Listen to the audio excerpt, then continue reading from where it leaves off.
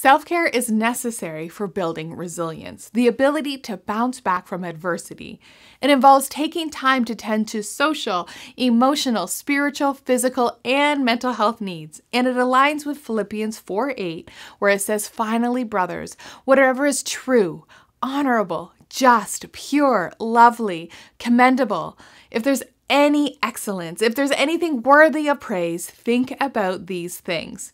We are in a series on learning the seven keys to resilience, and in this video, we're going to focus on the key of self care.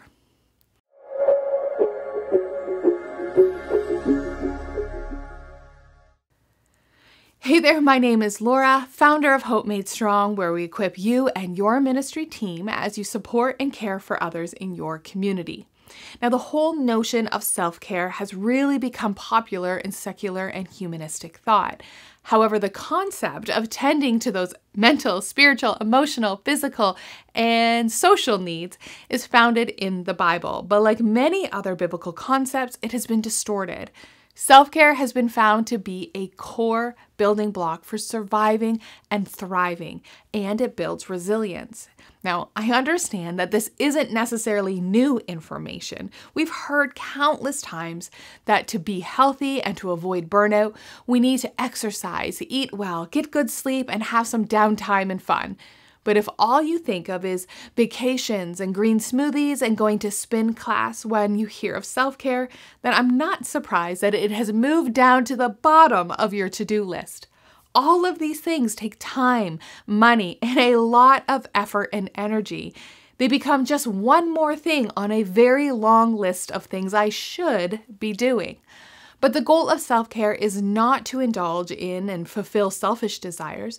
The goal is to live out the great commandment found in Matthew 22, which commands us to love one another as we love ourselves. Taking time to care for yourself and to refuel is not about whether or not you deserve it. It's about God wanting to love on His children. He wants you to know Him and He wants to refresh you. The time you spend refreshing and refueling is time well spent. When life becomes hard, when relationships erode and stress builds, but you're facing it with a full tank because you've spent time refueling. It is so much harder to overcome struggles when you are weary. Tending to your spiritual, emotional, physical, social, and mental needs helps you thrive despite challenges. A research study was done in 2013 on what makes those serving in ministry resilient.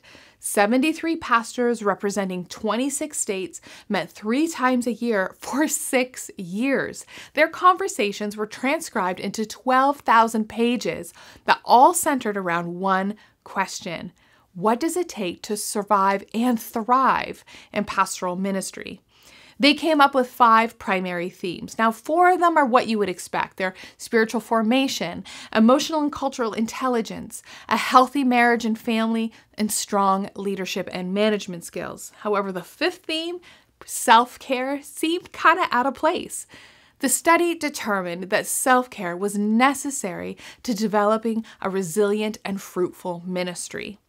As ministry caregivers, it is essential to be aware of your needs and to prioritize time to tend to them if you want longevity in ministry. Self care is all about accepting the love of God as His children.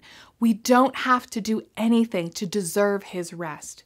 We are primarily to find rest, joy, peace, and love in God.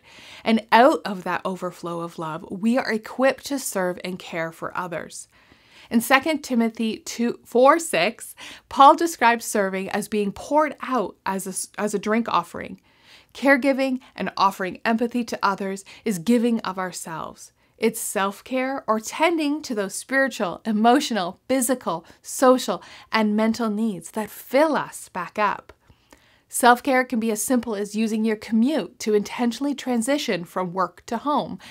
It can be taking a professional development course or easy as eating lunch with real food at lunchtime at a real table, not in a meeting. Self care could be developing a bedtime routine to allow for better sleep, or even adjusting those notifications on your device so you're not being distracted every ping and beep. Like the other keys to resilience, self care is a discipline. It's hard to acknowledge that we are weary or that we need rest. It's hard to tend to our needs when others around look as though they are in more need than you. It can feel counterintuitive to the call to serve. As a supporter, it can feel very hypocritical to encourage others to tend to their needs when you yourself are struggling with feeling weary and overwhelmed. It's easy to spot the needs in others and have a blind spot for yourself. But self care is not selfish, self care is leadership. I encourage caregivers and ministry leaders to build an awareness of when they need self care one way of recognizing when we need to tend to ourselves is to look out for that must be nice syndrome. And there's a link in the show notes to learn more about that below. But simply, must be nice syndrome is really when we see other people engaging in self care activities and we think to ourselves, oh, that must be nice. I've created a checklist of self care ideas that don't take a lot of time, energy, or money. Use these as a starting point to developing ideas that are what are self care for you and as a tool to encourage others to practice self care. And if you'd like to hear more about the other six keys to resilience, check out hopemadestrong.org slash blog or subscribe and be notified when videos are posted. Thanks for connecting and take care.